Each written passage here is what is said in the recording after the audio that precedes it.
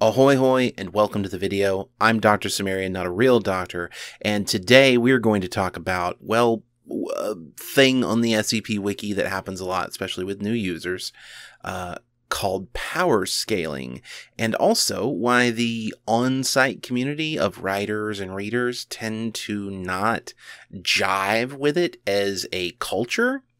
Um, to be clear, I've definitely created stories on the wiki and off, both for myself and for other channels that involve power scaling stories. That is to say, like 682 versus SCP 173.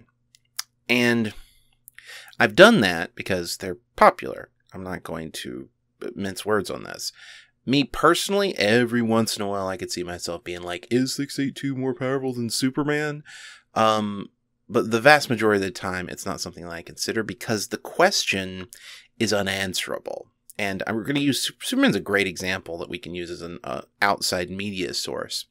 So, the reason why on site people will be very hostile to the concept is simply that there is no single version of SCP 682 to compare to. There's no master version of SCP-682, but that's never stopped people before. If you go into a chat and you go, hey, what would happen if you pitted 682 versus 096? Most people are going to say, whatever you want to happen, because it's true. There is no definitive version of each of those SCPs unless you just limit yourself to the article itself, which people don't because if they did 682 wouldn't be ranked so highly for so many people because 682 is the hard to destroy reptile in its article. The impossible to destroy bits don't come out until you read all of the surrounding works. And if that's where you're going with it like you want to read all of the surrounding works and all each of those stories is an independent story. And doesn't, and some of them are mutually exclusive to the others. In fact, there are stories about SCP-682 on the SCP Wiki and Tale version that are mutually exclusive to the original article. That's how much there is out there.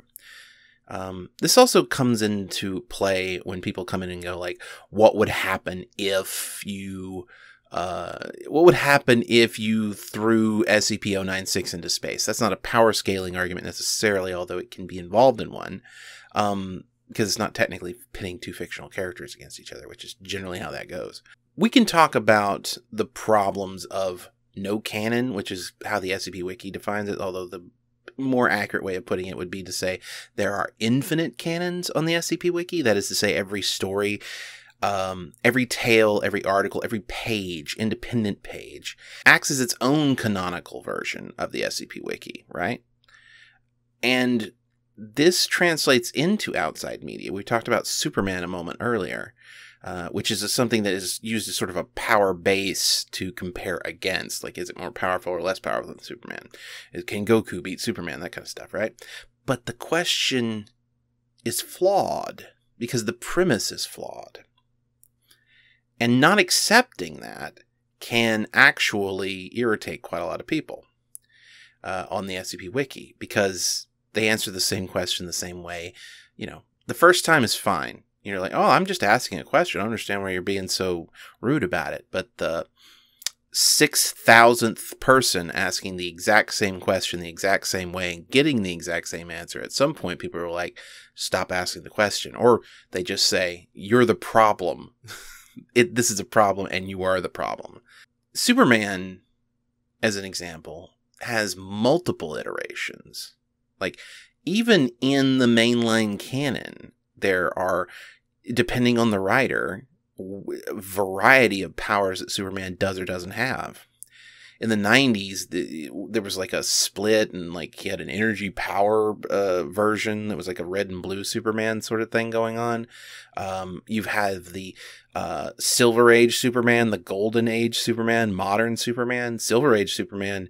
You know uh, faster than a speeding bullet able to outrun a uh, faster than a locomotive no, it's faster than a speeding bullet, stronger than a locomotive, able to leap small buildings in a single bound. I had to think about it. Um, And two of those are, you know, meaningless because faster than a speeding bullet could be any speed. Uh, stronger than a locomotive could be any strength. But uh, able to leap small buildings in a single bound implies that he isn't able to fly, which the original version of Superman wasn't. He just jumped very uh, far. Um, so, like, when you say, is Superman stronger than Goku or some other in, in, insert extremely strong character here, the question isn't, the premise isn't fully developed. You should be like, is the Silver Age Superman stronger than X? But even in the Silver Age, different writers gave Superman different abilities. So is this the version of Superman with super ventriloquism, which was a thing? or uh, a variety of other abilities that are completely off the wall that author that writers just gave Superman. And the so we go and go and go and go. This is true of the again outside media, and it's not something that people accept or understand or integrate into their arguments more often than not. A complex, if you want to do power scaling in a complex way with SCP objects, you need to definitively say the version from this specifically or create like clustered um, articles that are be like okay these are all not mutually exclusive to each other. These can all work together. They don't they don't uh, have any sort of things that um, contra uh, contravene anything that's in the other articles. So this collection of articles defines the version of 682 that i'm using in this argument that's not how people do it. They just go, "Hey, what is six? Can six eight two beat one seven three? And that is the reason why. Not not some sort of like and well, there is a little bit of it that too. Let's be clear. I was going to say they're not some sort of anti offsite um, fan base uh, problem, but there absolutely is on the SCP Wiki, and it's compounded by stuff like this though. This is the kind of stuff that makes people think less of the offsite when they have unrefined uh, questions like that that they're not asking what is more powerful, you know, SCP 682 in the article itself or SCP 343 from just its article or the uh, from uh, Duke Till Dawn's version of SCP 682 or so on and so forth. And this is the core of the problem with power scaling SCPs. You have to define exactly what the fuck you're talking about. Because if you don't, then anyone you ask is just going to be like, I have no idea how to answer. Anyone who knows anything about SCPs should be like, I have no idea. What you'll end up getting, and this is why I think power scaling arguments get are so popular, because you can get a lot of back and forth between people who have completely different ideas of what you're talking about. The problem is, is if you say, can 682 beat 173?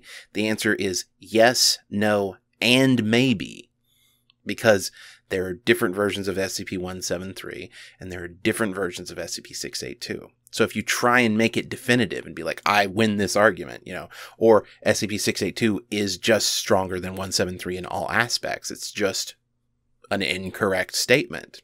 So the important thing to regard is which version are you talking about? And we never, ever get down to that. Not to mention that none of it really matters like in the end. Uh, and I know young people tend to get obsessive about the things that they particularly like. Um, I don't think there's anything wrong with that, but it can be very grating on the older or more developed fans who are further along in their journey who aren't, say, obsessed with everything uh, relating to uh, SCP 173 or SCP 343. You know, like, oh my God, this SCP 343. I've read every article about SCP 343. And I'm like, I don't think you have, first of all. And second of all, I'm not. I'm not going to say your taste is bad, but you could stand to read other things, right? I think we could do better as on-site authors because i think a lot of people that's watching this would be the on-site people. I think we could do a better job of trying to guide people from the wrong uh, preconceived notions to the right preconceived notions.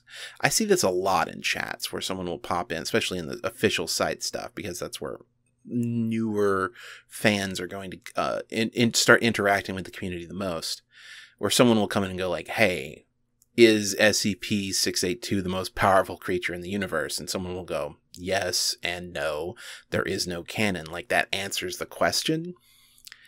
There needs to be a more complex sort of answer to that that takes into account that most people think of all fiction as having a single mainline through canon, right?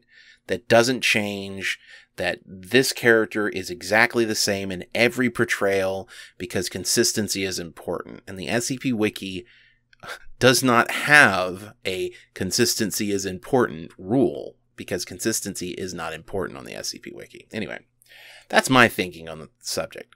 Thank you very much for watching. There's nothing wrong with you if you're a power scaler, by the way. I'm just saying you're going to have to contend with the idea that the SCP Wiki main staff and authors generally don't hold, hold a dim view of it. And so you don't have to hide it necessarily, but you do need to respect how people are going to view you. But thank you very much for watching. If you enjoyed the video, hit the subscribe button and then hit the notification bell next to that so you're notified when I upload new videos. And then head on over to patreon.com forward slash dcimmerian and pledge at any level like everybody here on the screen already has, including Sinjariki, who's pledged at $100. It's nice to know that I'm not alone out here, and I will see you all again on Tuesday.